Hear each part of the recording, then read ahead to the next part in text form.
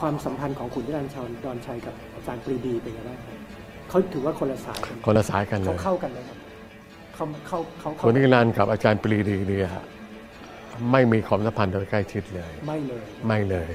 อ่าเพราะฉะนั้นเรียกว่าเหตุการณ์พระคลังข้างที่อาจารย์ปรีดีไม่เกี่ยวเลย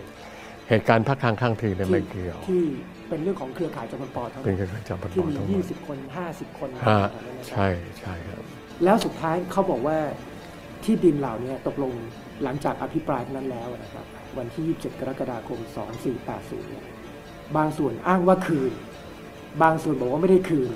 บางส่วนบอกว่าผ่อนซื้อแต่สุดท้ายยกให้ลยคือป็นยังไงบ้างเกิดเกิดช่องว่างเป็นยังไงบ้างที่ดินที่เอามาเนี่ยเกิดช่องว่างก่อนจะส่งกระทรวงการคลังครับเกิดช่องว่างว่าใครมีอำนาจก็ได้ตามอำเภอใจอะ แล้วเขาคืนกันไหมครับสุดท้ายไม่ได้คืน ไม่คืน ก็คือได้แล้วได้เลย ได้แล้วได้เลยอืมได้แล้วเพได้ราะฉะเลนั้นยจะมีคนที่จริงก็มีคนในจำนวนมากที่ได้ทรัพย์สินเหล่านี้ไป ใช่ครับ มีคนได้เปล่าๆเลยไหมครับ ก็มีเหมือนกันนะครับอันนี้ผมไม่ทราบไม่ทนะราบ